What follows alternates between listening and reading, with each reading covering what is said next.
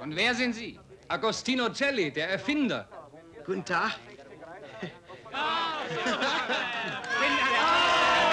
mal, hast du nicht gestern ein Loblied auf die Polizei gesungen?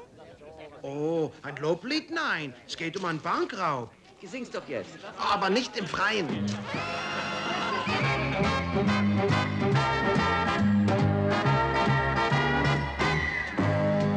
Ist Maskenball bei Scotland Yard. Der Bobby kriegt ne Nase, der Billy einen Bart. Der Eddie kriegt ne Brille, der Freddy einen Stock. Großer Razzia, heute 7 O'clock. Heut ist Remy Demi in Soho. Bei Automaten Teddy und Diamanten Joe. Der dritte Mann im Bunde, der schöne Edward, packte aus bei Scotland Yard. Ja, die Knickknack Brothers knacken heute einen Panzerschrank. Soeben kam der Funkspruch. Aller Mann zur Westendbank und so fährt der ganze Scotland Yard.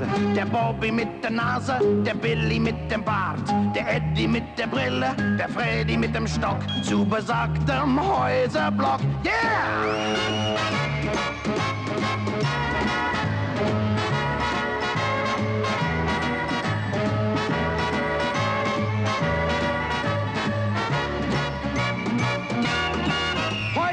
Maskenball bei Scotland Yard.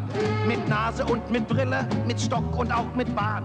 Die Polizisten steigen von hinten in die Bank, wo die Gangster bohren am Schrank. Ja, die Knickknack Brothers schwitzen.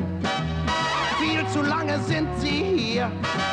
Doch nach tausend Ängsten endlich öffnet sich die Panzertür.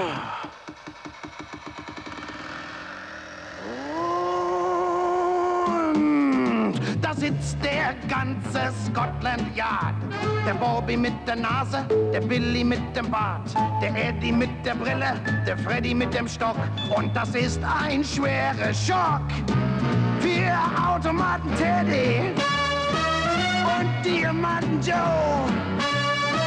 Für die Knickknack Brothers aus Soho.